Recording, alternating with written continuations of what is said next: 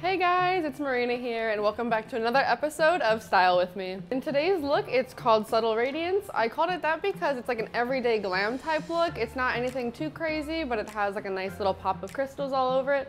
It's awesome for an everyday look when you're going out to like the cafe or brunch with friends. It's a really fun look. If you wanna see how I made it, stay tuned for more. And in the first lobe, I added the 14K Crystal Huggy. I like to add this piece because it's a nice everyday look. It has a little bit of sparkle on it and it's not too big or chunky, so it's gonna look good every day.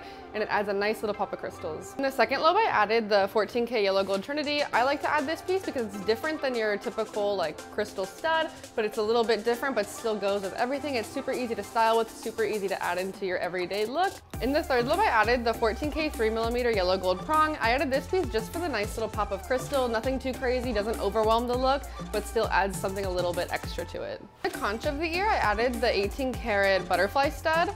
I like this piece a lot because it's a nice crystal shiny piece, but it has a little butterfly design. It's super pretty.